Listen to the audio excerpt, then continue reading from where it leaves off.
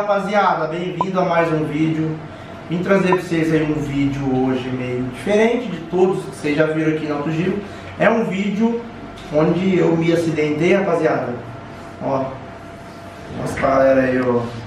Coloquei aqui um, aquele plástico de tatuagem, né, porque foi uma tatuagem. Só pra tirar um pouco a queimação aqui que queima demais Certo, ó. Aqui, sobe sai lá na, no, brio, no brioco.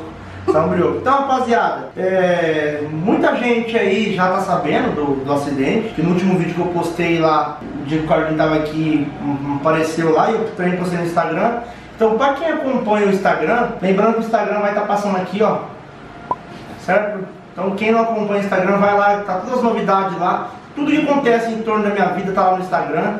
Então, lá, tá, lá o povo sabe que eu comprei uma moto nova, lá sabe de tudo. E por que, que eu não trouxe essa moto nova pro canal? Não mostrei nada. Não fiz vídeo. Na verdade eu fiz sim um vídeo, só que foi um vídeo privado só para membro. Só para quem é membro. Eu não trouxe essa moto nova, rapaziada. Para quem sabe, a última moto que eu tava andando era uma S1000R, aquela S1000 Naked. Eu acabei trocando a moto aí por uma S1000RR, né? Que é a carenada. É uma moto nova, eu tirei zero na concessionária lá em Londrina, na BMW. Eu não quis mostrar mais por causa de povo falando que tava ostentando. É muita gente falando, ah, o Henrique tá ostentando dinheiro, tá ostentando não sei o que lá. Tipo assim, que eu não uma moto dessa, todo mundo já sabe mais ou menos aí o, valor de uma moto dessa, sabe que é uma moto cara, sabe que é uma moto mais cobiçada hoje, é, acho que dentro do Brasil. E é uma das motos mais rápidas e mais potentes também na, no Brasil, né? Então a galera aí, tava bastante gente comentando que tava ostentando dinheiro, mostrando um monte de moto. Tipo, eu acabei de comprar a Ninja 400, tal, tal, tal, tal, tal, Então eu resolvi dar um tempo, é, não trazer a moto agora, entendeu? Então por isso que eu não trouxe a moto, só postei no Instagram, porque o Instagram é, pouco, tem poucos seguidores, né? Estamos aí chegando rumo aos 100 mil, em comparação ao YouTube que tem 500 mil. Então é 10% do nosso nossos inscritos no YouTube tá lá no Instagram. Então, para quem acompanha lá no Instagram, quem segue nós, ficou sabendo da moto e ficou sabendo também do acidente. Mas quem não ficou sabendo agora, tá sabendo. Então, esse acidente, como aconteceu, rapaziada? A gente tava preparando, é, na verdade, tá acertando a. Deixa eu dar, deixa eu dar só uma, uma palavra aí. Tá. Pessoal, assim, um dos motivos a gente não ter mostrado a moto no canal é que muita gente fala, ah, tá desumilde, tá é. perdendo a essência e tal. Ah. É, não é porque, assim, ele é titanzeiro que vai, vai andar de titã pro resto da vida, tem que andar de titã pro resto da vida. Tenho certeza que todo mundo tem uma, todo mundo tem uma titã. Quando tiver condição de ter uma moto maior, uma moto diferente, essa pessoa vai atrás de uma moto maior, de uma, moto diferente. Quando ela tiver condição para andar para ela ver como que é, para ela ter essa, essa, essa sensação. Então não é porque tem que andar de titã pro resto da vida para dizer que o cara é humilde ou que não é humilde. Né? Na minha opinião, isso não tem nada a ver. A partir do momento que você tem condição de comprar uma moto que você tem vontade de ter, você tem vontade de ver como que é, é isso aí. Você tem que, você tem que realizar o seu sonho, né? Se é aquilo que você gosta, é isso aí. se é aquilo que você quer. Beleza? E eu comecei na moto grande, fui, comecei com a CB1000, fui trocando de moto. E nunca gostei de carenada. Mas o dia que eu andei, que eu peguei a ninjinha, que eu comecei e tal, eu falei, cara, eu vou comprar uma RR. É, consegui comprar a moto, fazer o quê? 10 dias que comprei a moto? Por aí, 10 dias que comprei a moto. Beleza, vamos voltar ao assunto então. A gente tava lá testando a moto, o protótipo que ia correr com o Carlin, certo? O motor Twister lá, 470 cilindradas. Tava eu já, quando nós tava acompanhando, tava com a MT-07 e eu tava com a RR, certo? Na verdade tava assim, eu tava pra acompanhar a moto e o Alacá tava pra postar a corrida. Pra passar a corrida. A tipo ideia, assim, a ideia é assim, é. o Rick ia junto pra, pra acompanhar a final, ver o rendimento. Os pontos, como que ela tava rendendo. E eu tava indo junto pro neguinho tinha que ganhar de mim. Na, com, com aquela moto tinha que é. ganhar 07. Então eram dois objetivos ali. eu tava ali pra correr e o Henrique estava para acompanhar e ter a moto de, de parâmetro de velocidade, é aí. pontos na pista. E o que, que, você achou da moto? Você gostou cara? Ficou top, gente. Só nós mesmo que estava é, junto. É só, é, é só, só nós que acompanha o moto, é, que vai saber que vai saber. tava a moto. É. Rapaziada. E eu vou falar pra vocês, rapaziada. Morreu pra 07, viu? Morreu pra 07. Morreu pra 07. Aí, rapaziada, beleza, a gente deu vários testes, a gente é, não teve como vir regular a moto no dinamão, porque isso era tipo de noite. Na verdade, a gente fez essa loucura de madrugada. E por causa das reclamações que teve aí anteriormente aí dos vizinhos, então a gente não ia ter como ficar aqui 10, 11 horas da noite fazendo barulho de dinamão. O que a gente teve que fazer? Ir na beira da pista, e regular a moto. Então a gente ficava com de clê, vendo sonda, e mexia aqui, mexia lá na beira da pista. Então a gente deu uma, mais ou menos umas 10 passadas na pista, né? Ó, a gente chegou na pista, na pista, na rodovia, por volta da meia-noite. Meia-noite. Até 4 horas da manhã a gente estava lá. A gente estava fazendo passada na pista ainda para fazer acerto do. Isso.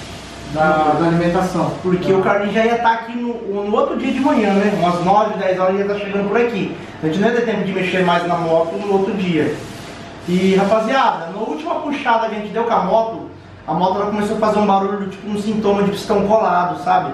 E o neguinho falou, cara, a moto eu acho que colou pistão, só que tipo, ela não fez ameaça de colar pistão, ela não, não deu falta nada. Aí, tipo assim, ela falou, mano, colou pistão, alguma coisa, barulho de pistão, biela, não sabia o que que era. Aí o neguinho falou, cara, não vou correr, porque a, a moto tá dando uma velocidade muito alta, é perigoso, perigoso gente. colocava a vida, do, do piloto em risco, se quebra. Tava muito perigoso. Muito perigoso. O que ele falou? Vamos desmontar de manhã, se for coisa fácil de resolver, uhum. a gente resolve. Beleza, vim embora, rapaziada. Deixou a moto lá no circuito, deixamos a moto lá. E beleza, né? Cansado e tal, vim embora. Tava o KS1000.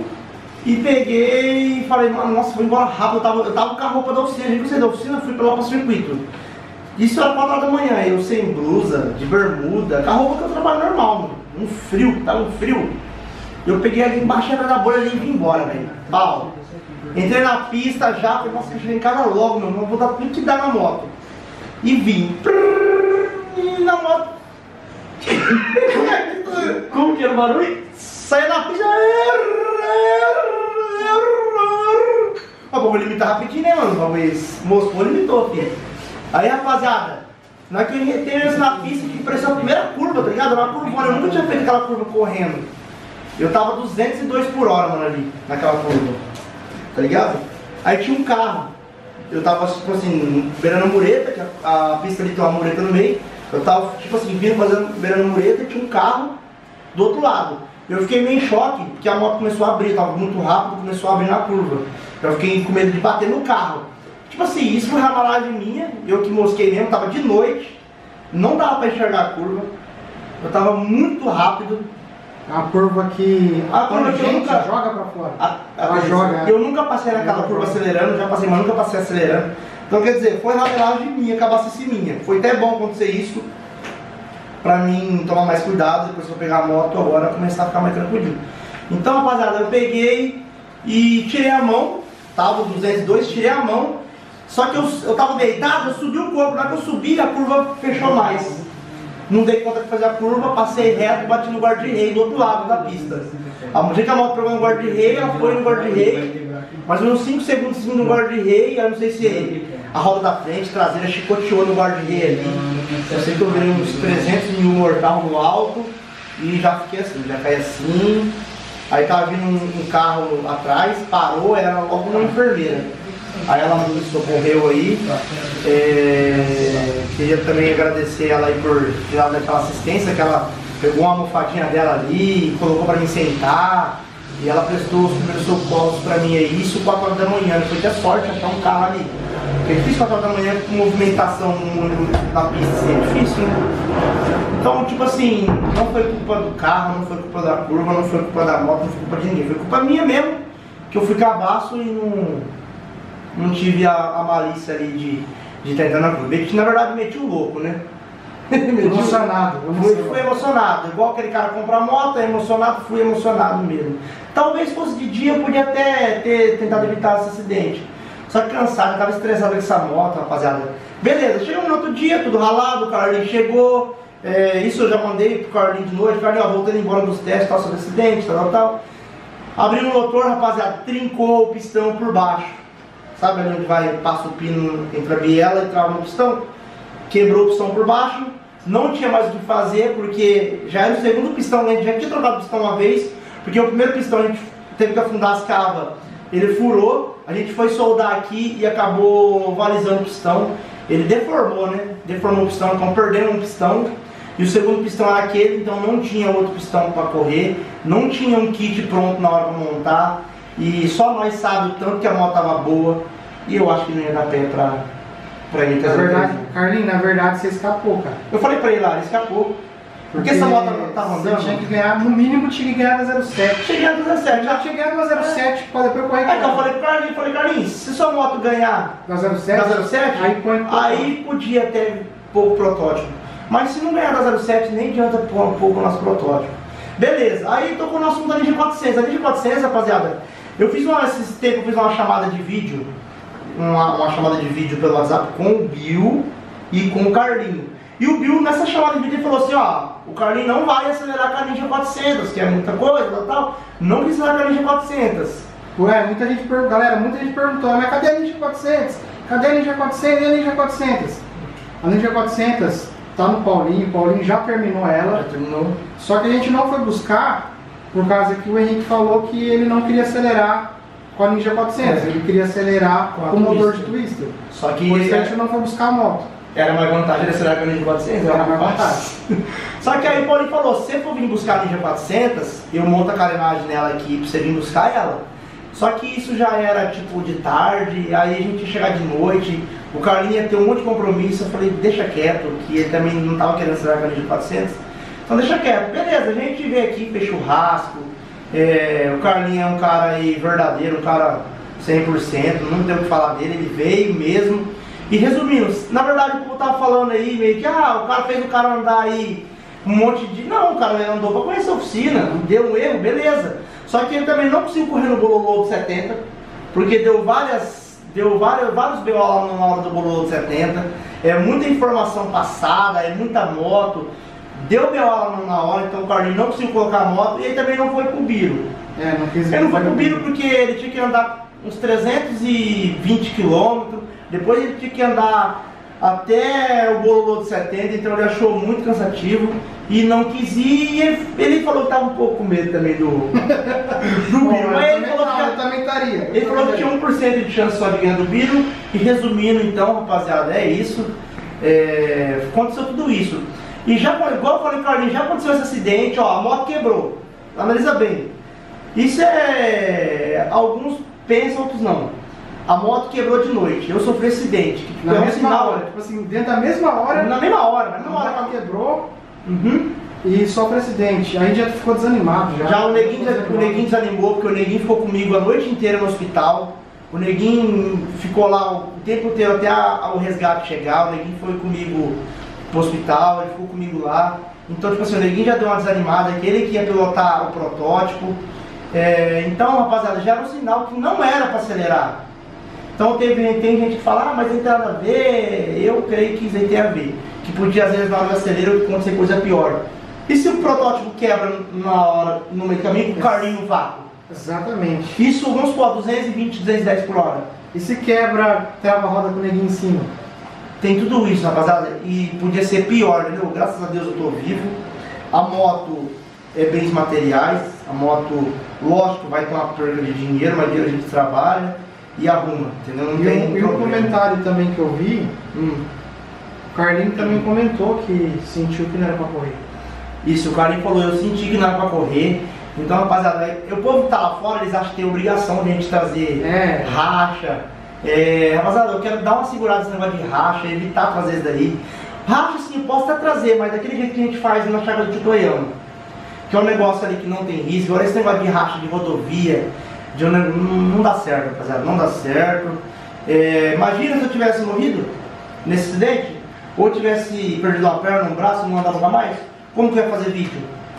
E outra, ia acabar o canal Alto Giro, não ia ter é, mais. É, e é por causa de racha. Por isso por causa de racha.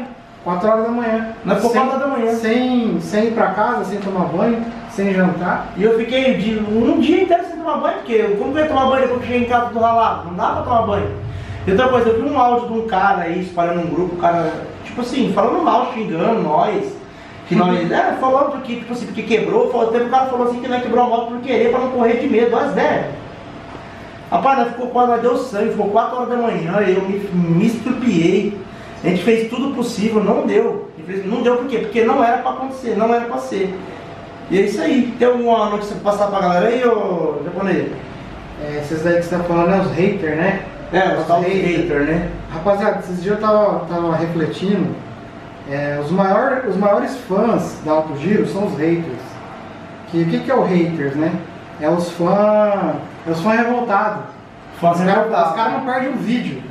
Os caras não se inscrevem no canal, falam assim, não, vamos inscrever no canal não. É. O cara não perde um vídeo, ele chega na casa dele, ele vai procurar lá no canal do Alto Giro. Você tem pra comentar, pra comentar. pra fazer comentário, pra dar dislike. Cara, esse é o, maior- é o nosso maior fã, É o cara. maior fã. Esse é o fã revoltado. É o fã revoltado. É, é- é- ele, ele gosta tanto, mas ele, ele não admite, ele não sabe, entendeu?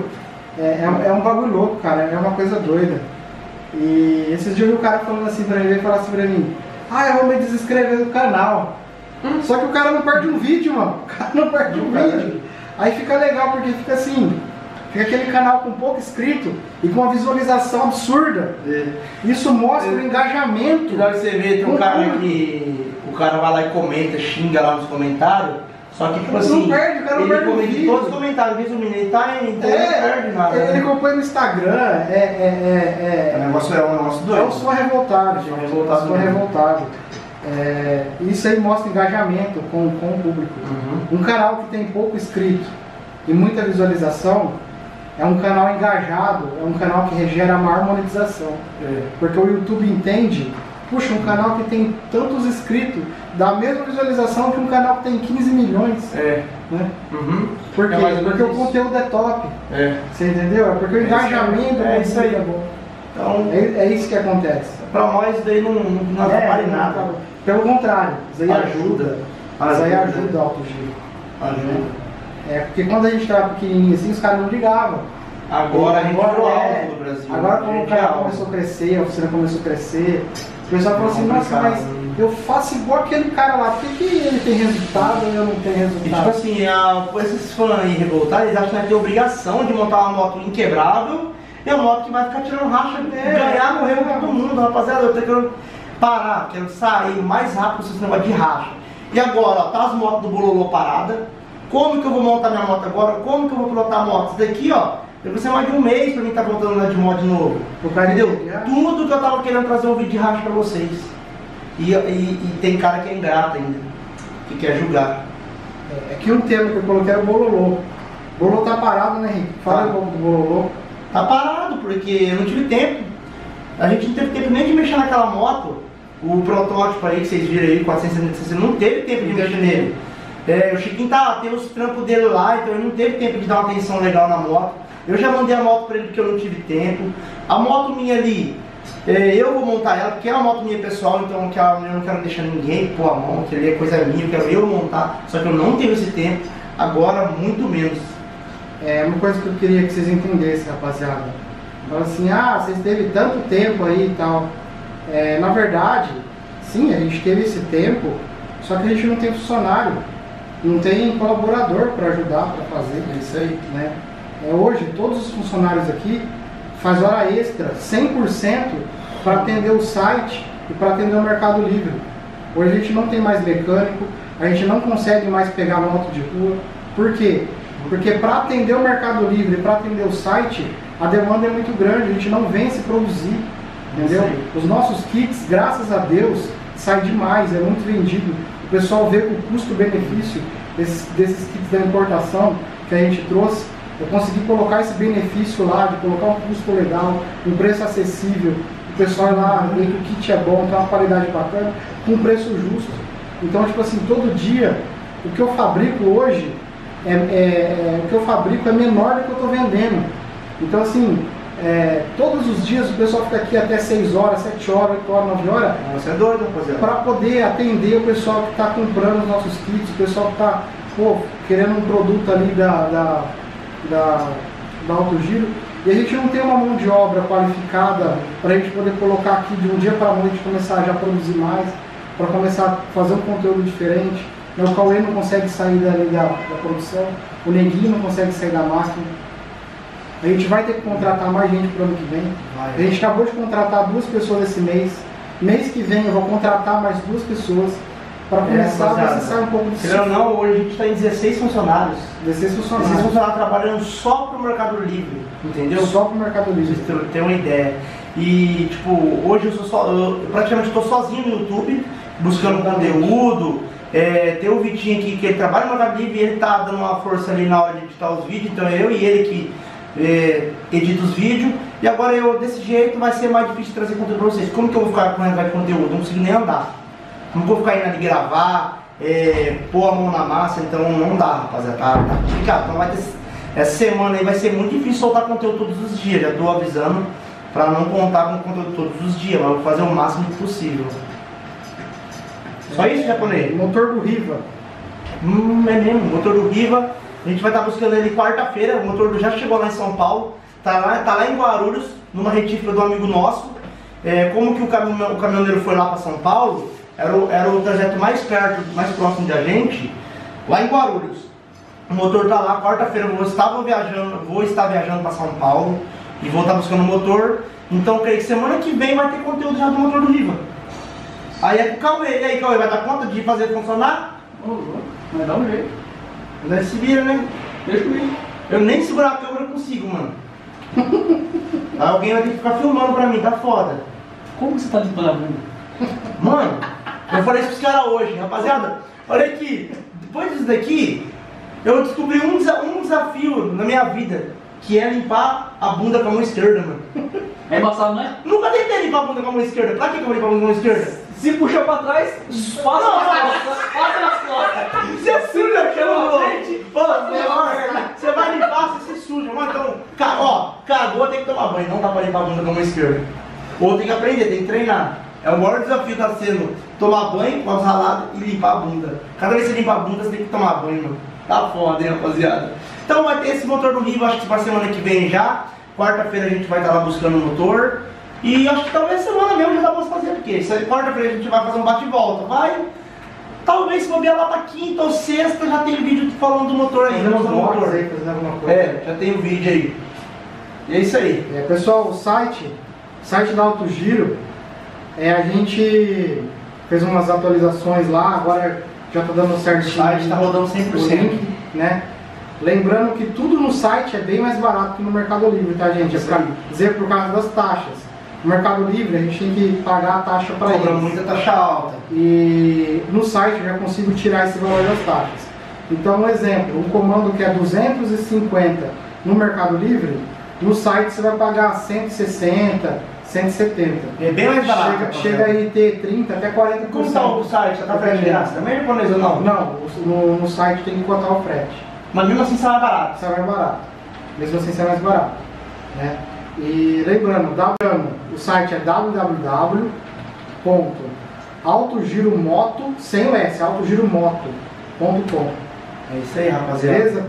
E rapaziada que é membro, é, já tem vídeo novo lá, os membros. É, clica na aba comunidade. Sempre que você clicar na aba comunidade lá, para verificar lá, quando tiver vídeo novo lá, o membro que a gente vai estar tá postando novidade aí. É, quando eu comprei a moto, a S1000RR, eu fiz um vídeo só para os membros. Isso. E esse vídeo tá lá. Então para quem é membro, acho que já deve ter visto o, o vídeo. Mas para quem não viu, só ir na aba de comunidade aí. Então é isso, rapaziada. Vim trazer uma notícia aí, que tem bastante gente que me manda mensagem. Eu queria agradecer um, a galera também, que tem bastante gente apoiando, é, dando uma força pra mim aí. Bastante gente mandou mensagem, é, perguntando se precisar de ajuda tal. É, bastante gente aí mandando se importando. Então é legal de ver, bonito de ver. Agora tem que esperar, rapaziada. Então, não foi nada grave. Vou tentar trazer alguns conteúdos aí do meu jeito. É, mas se fosse pior, vocês iam ficar sem conteúdo. E talvez ia ficar até sem o canal. Eu tive uma ideia. Hum. A Ninja 400 está pronta. Está pronta. A gente vai finalizar o protótipo. Vamos fazer um vídeo do protótipo versus a Ninja 400. Ah, vocês vai tomar, hein? Vai, vai que vai, mas só para não ver a diferença. Como o pistão quebrou, rapaz, aqui a gente vai fazer. Eu vou ligar na Romac. Vou ligar hoje, se der tempo, eu ligo hoje ainda na Romac ou amanhã. E vou mandar fazer um pistão daquele lá sem tudo que tava. Vou mandar fazer um pistão bem mais reforçado, um pistão bem mais top. Aí a gente faz a Ninja 400 versus, versus o protótipo. Mas a gente fez um desafio também lá no canal. A gente vai lá em Goiânia. Vai. Eu quero ir lá né, rapaziada, depois que a gente for lá em Goiânia e acelerar aí, é a gente vai abordar essa missão. Não vai ter mais racha na rodovia. Se tiver racha, vai ser ou em autódromo ou no de Toiano, assim, curta distância. Esse negócio de, de rodovia aí e dar 230, 250 por hora. Acontece. Qualquer hora a gente vai perder esse canal, vai ficar sem alto giro. Beleza? Então até o próximo vídeo e tchau.